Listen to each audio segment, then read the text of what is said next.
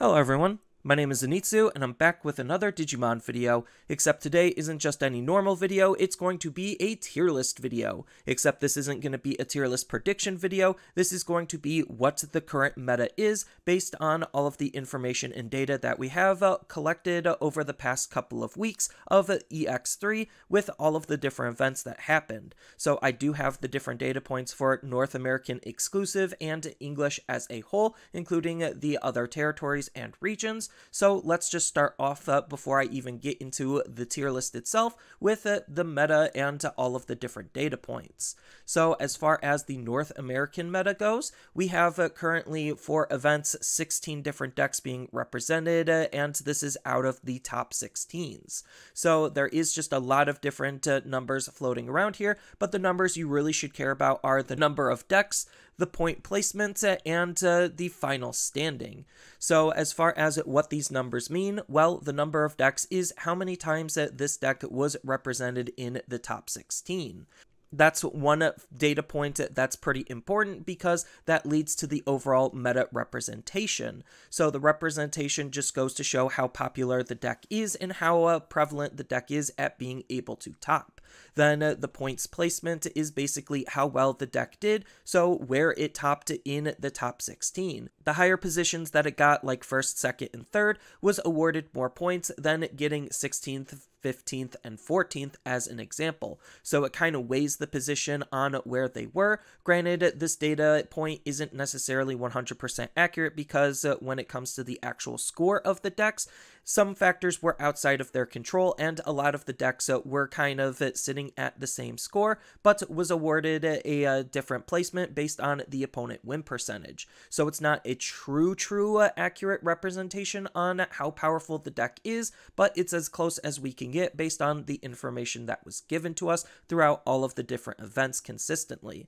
Then there was some math behind uh, combining the uh, deck representation, uh, number of decks, and point placement to be able to get the standing percentage, which is a more accurate representation on how strong the deck actually is. So this is, again, just limiting it to the North American exclusive data. And then on top of that, we do have uh, the meta development. So uh, between all of the different events, this is kind of just how the meta developed as a whole. And we could see a consolidation towards uh, the top four, and everything else kind of just seemed to struggle based on uh, the previous chart. But if you're just looking at sheer raw play percentage, uh, this is kind of the breakdown on play percentage put in order in terms of representation for the English meta. But if we broaden the data set and data points a little bit more, we do get a bigger picture because there were some uh, data points that, that we could pull from from outside of North America, like uh, Latin America, Oceania, and uh, Europe. So uh, as we can see, things don't necessarily change that much. There is more decks being represented, but uh, again, it's not really changing what the top meta is and what really is defining the meta as a whole. Then if we include uh, those other events, we could kind of see uh, how the meta still develops. And again, it's not really changing the meta too much. It's just adding more decks into the mix to uh, have more of a diverse spread. And we could see that with 21 decks being represented in all of the English meta versus the 16 that was just North American based. But when we compare the two side by side, uh, then we still get to see a good picture on all of the different decks being represented and how strong each of the decks is perceived to be. So that just leads into the question of, well, what actually is the meta? So, as far as what everyone's concerned about and cares about, what are the top decks of this meta? So, the top decks of this meta is going to be Metal Garurumon, Security Control, Bloomlord slash Hydramon, and uh, War Greymon X Antibody. So why are these decks doing as well as they are? Well, as we saw with all of the images and data points that we have collected, that uh, Metal Garurumon X Antibody is just the best deck in the format. It has the most play percentage, it has the most win percentage, it's just obviously one of the best and strongest decks that's been in the game for a while. So this is where the meta kind of starts, it is because of how powerful this deck is.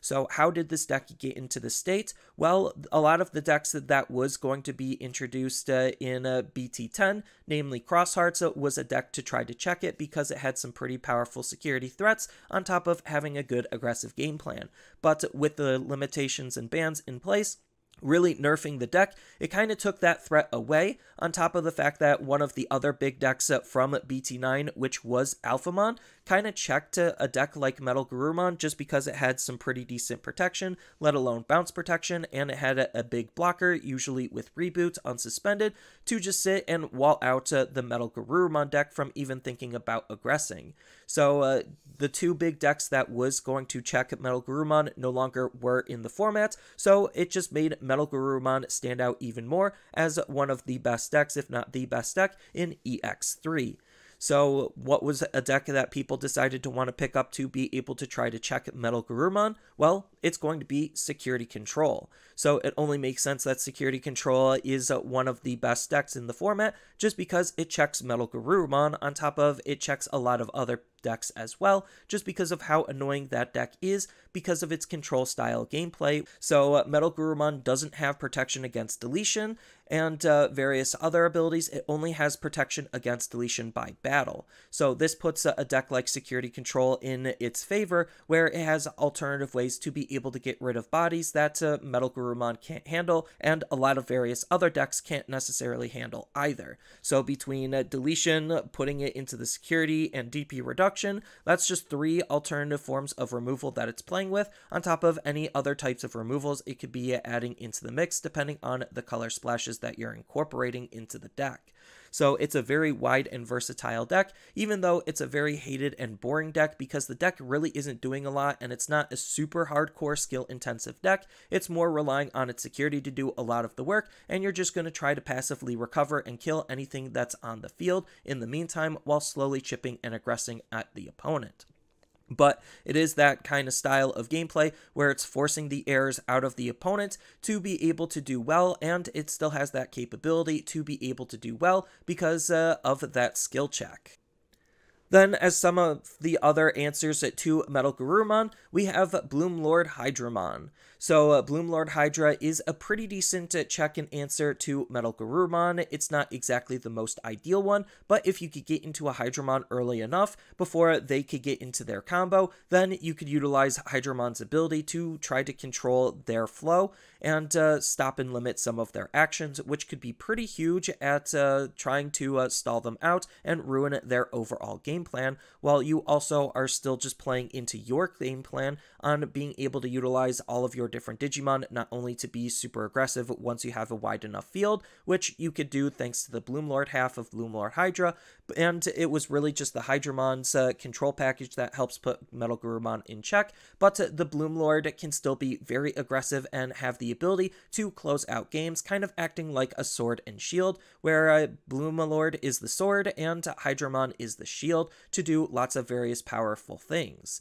You don't necessarily care about the piercing into the Garurumon matchup more specifically, but against the other decks in the field, it's still just a very strong and powerful deck that can do a lot and have a very wide board state very quickly. So you could uh, kind of snowball things out of control in your favor.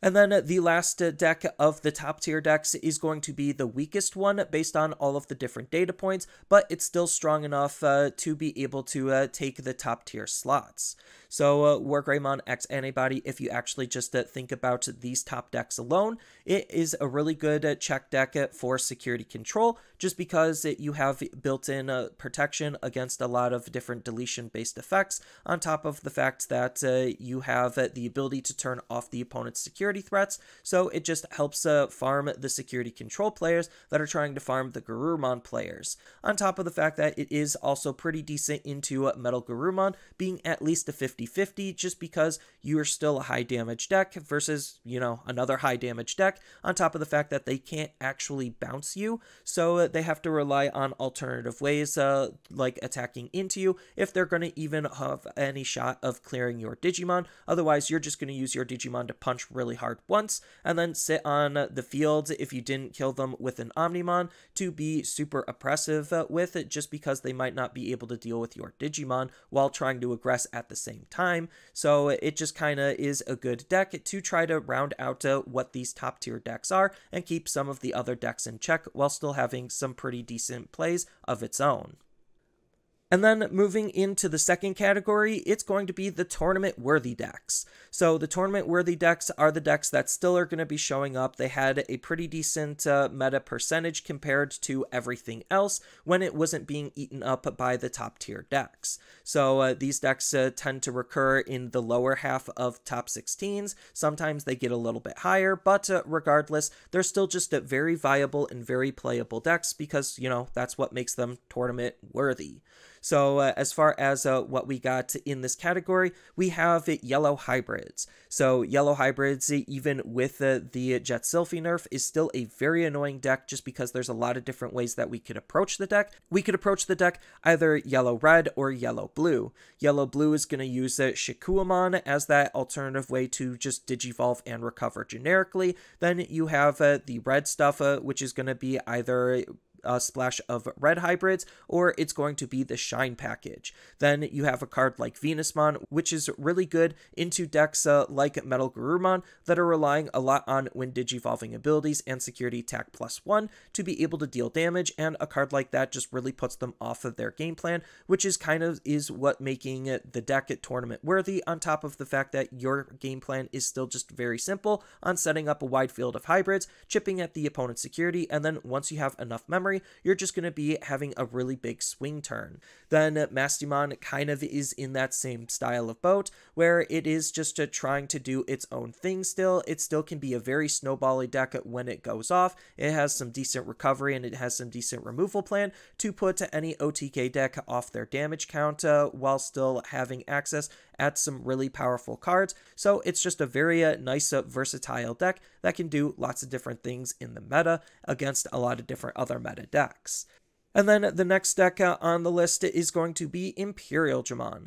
So this is the blue-green version of Imperialdramon. The red-purple one hasn't put any results up anywhere outside of Japan, and even in Japan, it didn't put up that great of results. So it is just more of a meme deck, and blue-green is proven to be the stronger variant of the two Imperialdramon decks, just because uh, it is more of a mid-range deck that has the adaptability to be able to deal lots of damage and have a nice solid DNA style game plan where you're relying a lot on your level 5s to be able to do lots of damage, then you're only going up into your level 6s to kind of extend your combo to be able to do more. The jamming really helps with adding protection against uh, potential security threats that aren't options, so it's not like your swings are bad and the deck is highly consistent, making it still one of the better decks in the game. Then on top of that, uh, we have the, the, next deck, which is going to be Gaiomon, which is basically just a slightly weaker version of Black War Greymon in this meta more specifically, just because we're not in a go wide tamer heavy format,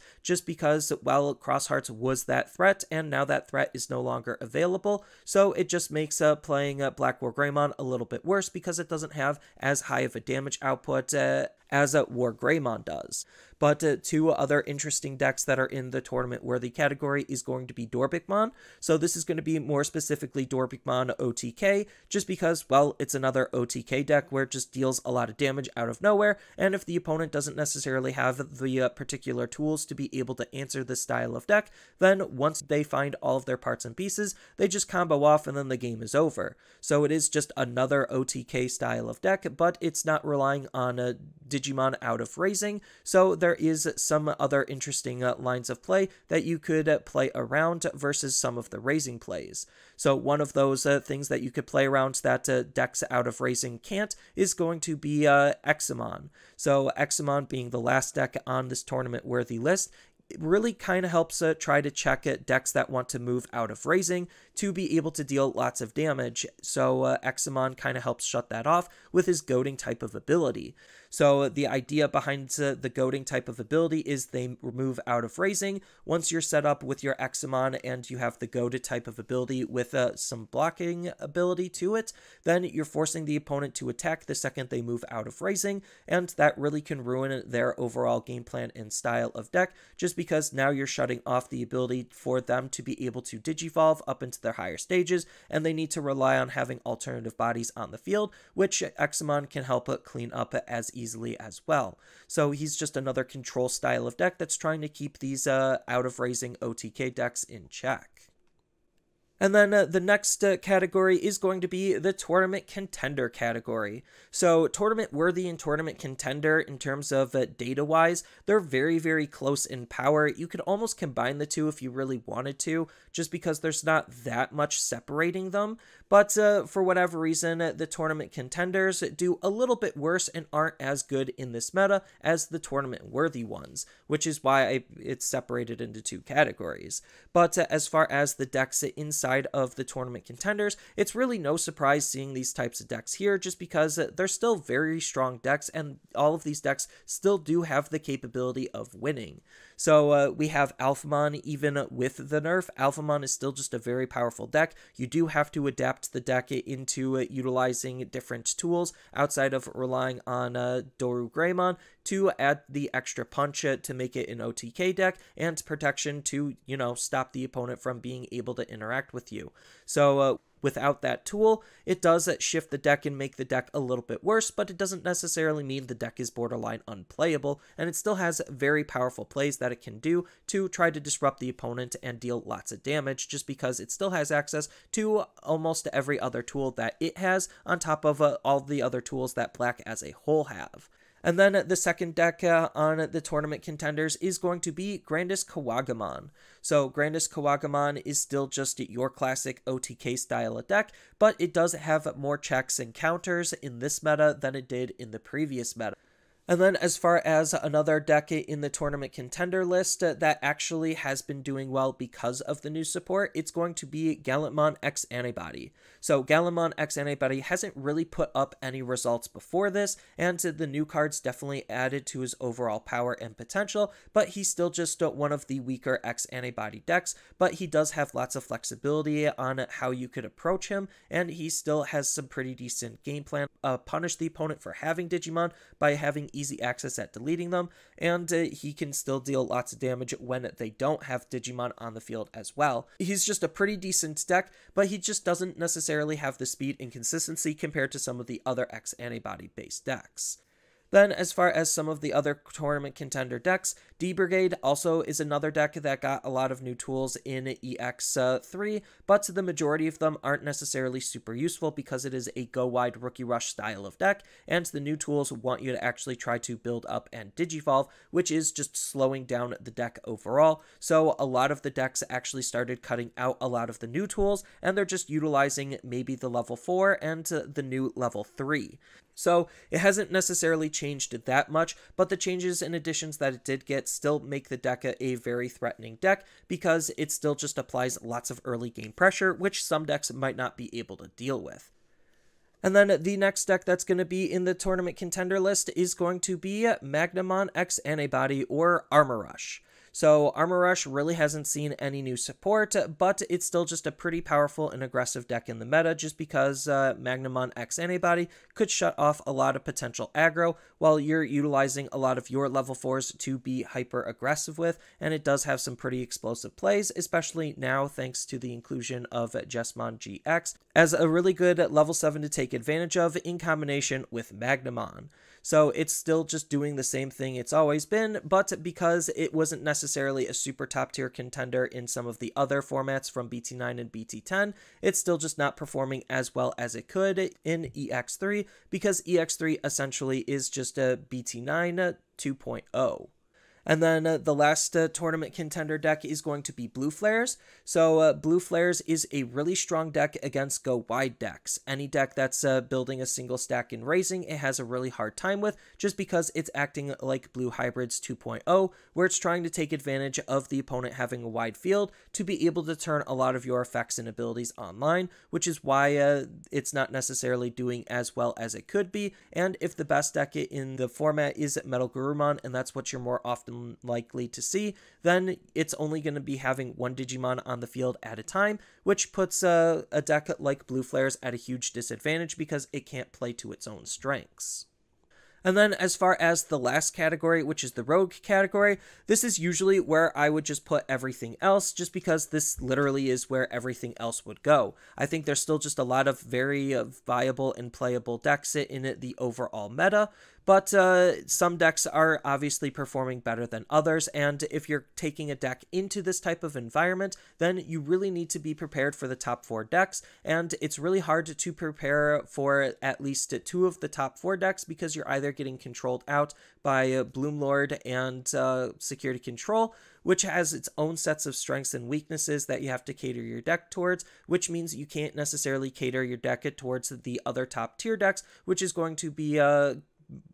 Garurumon X Antibody and uh, Greymon X Antibody. But as far as uh, some other deck set that we could highlight based on the data, we do have uh, Blue Hybrids, which is still surprisingly able to do well in this type of environment, uh, just because, again, it's another hybrid-based deck where you're just trying to sit on your Tamers. There's not as much Tamer hates it in the format because Skyomon isn't doing as well, and there's still just not a lot of ways to be able to interact with Tamers. And if they Death X you, you don't care because you're not really playing Digimon. You're just sitting on your Tamers, and then you're just going to accrue lots of value off of your Tamers, and the opponent ideally having Digimon like Blue Flares to be able to uh, gain lots of resources and uh, generate a whole bunch of memory to make some really big swing turns. Then we also have uh, Ancient Greymon OTK or Red Ancient Hybrid OTK, whatever you want to label the deck. It's essentially just using Ancient Greymon to build a really powerful and big stack, move them out of raising, and swing for all of the opponent's security, then Blitz Omni for the game.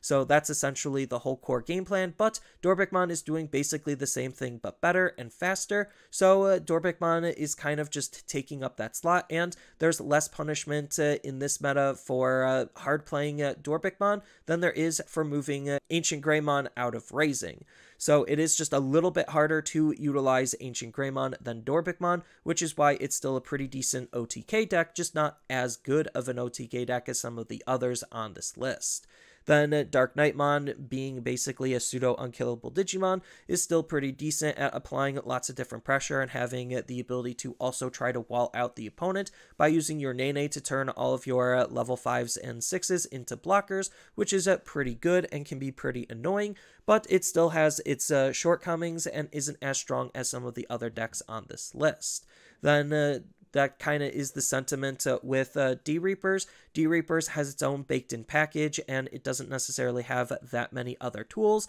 And with decks still wanting to play out of raising and be a single stack deck, the inclusion of Death X isn't really helping the deck be any stronger than it was before. So uh, just because it wasn't doing as well in some of those previous metas means that it's not doing as well in this meta just because we're not a go wide meta as much as we thought we would be. Then uh, we also have the Beelstar, which is another really good deck, but it's basically just a weaker version of Security Control, where you have lots of really big, powerful options. You could hard play your Digimon for super cheap, but it does have some setup and in the meantime you at least could try to be as aggressive as you can with it your level 4s and below so it's not like it's that bad of a deck compared to security control it's just uh, if your security is off and you can't deal with the opponent's digimon then you do just kind of auto lose and especially against a deck like a Wargreymon X Antibody where you literally have zero options to be able to handle that type of a card means that uh, you're just going to have a harder time in the meta overall because that is going to be one of the more played and more powerful decks.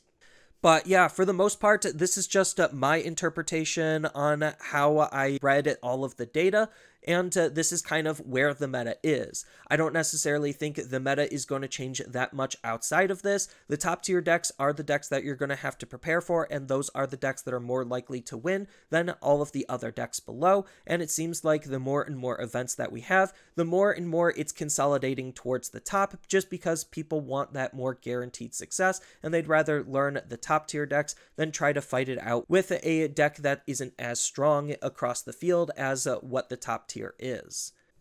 But do I necessarily think this is a bad or unhealthy meta? I don't necessarily think it's that bad or unhealthy. I think it is a little bit boring just because the meta really hasn't changed since BT9. I said before that this is basically uh, BT9 2.0 or 3.0, depending on how you want to look at it, just because BT10 was a pretty short meta, so I don't necessarily count that as a full meta, and this is just a more full meta than what BT10 was. But uh, regardless, uh, the fact that uh, not a whole lot has changed and, and the meta hasn't really shaken up that much just means that